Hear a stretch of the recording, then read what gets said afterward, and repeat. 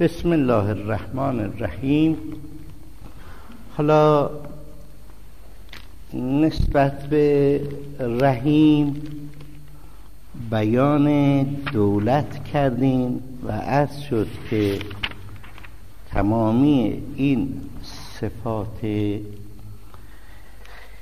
لطیفی یا جمالی با دسته از صفات جلالی تحت دولت رحیم قرار می‌گیرند اگرچه مجموعه و مواردی که تحت دولت رحیمه فراوانه اما مراتب رحیمی هم متفاوته و گستردگی رحیم این است که دولت رحیمی از رحیم تا رحم را شامل میشه.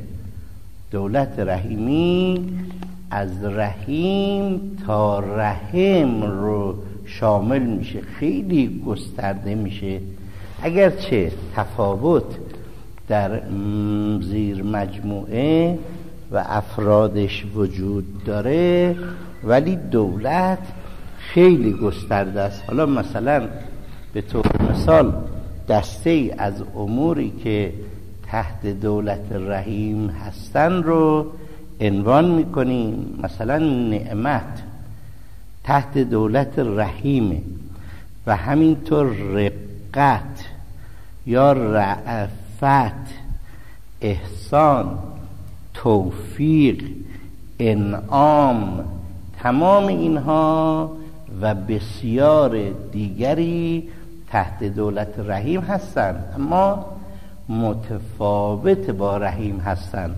به طور مثال که عرض می‌کنیم اینها رو باید در باب اشتقاق گسترده دنبال کرد. یعنی یک فصل بلندی در باب اشتقاق هست. مثلا فرق بین نعمت و رحمت چیست؟ گرچه نعمت تحت دولت رحیمه اما نعمت با رحمت فرق داره. چرا؟ چون رحمت بر نیازمنده. وقتی رحیم کاری رو می‌کنه در آن استحقاق هست نیاز هست. حاجت هست. اما نعمت اینطور نیست. میشه که شما کفران نعمت کنید یا کفران نعمت شود. اما کفران رحمت دیگه نداریم. چقدر فرق بین نعمت و رحمت میشه؟ چون شما در نعمت اعطا می‌کنی. اعطا ممکن است حاجت نداشته باشه و اعطا بکنی. انعمت علیهم و استحقاق نداشته باشه. حاجت نداشته باشه. شما انعام می‌کنید. همینطور دوست دارید به یک کسی انعام بکنید. اما رحمت زمینه داره.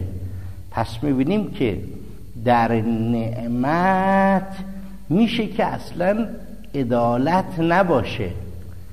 ولی در رحمت عدالت هست. کفران رحمت نداریم ولی کفران نعمت داریم.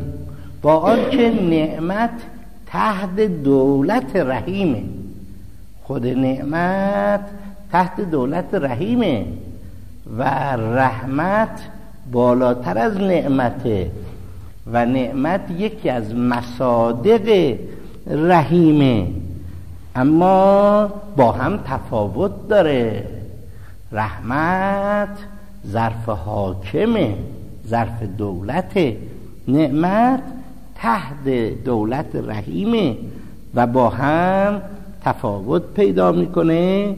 تفاوت هم چنان تفاوتی است که کفران نعمت نمیشه میشه کفران رحمت نمیشه. پس رحمت ظرف استحقاقه. رحمت ظرف حکمته. رحمت ظرف عدالته. اما نعمت می‌تونه که ظرف غیر استحقاقی باشه کفران بیاره. و اصلا شما انعام که می‌کنید بیمورد باشه. گرچه در ظرف خدا بیمورد نداریم. نعمت ها اگر هم نعمتی میده به کسی خدا و اون کسی کفران هم می‌کنه خود این یه حکمت داره. در کفران نعمت هم به لحاظ پروردگار حکمت داره. ابتلاع امتحان آزمایش تعدیب ترمیم تشویق و یا عقوبت. می‌تواند تمام این امور باشه. ولی ما به عنوان یک جراح وقتی میگیم نعمت و رحمت باید اینا رو خوب بفهمیم.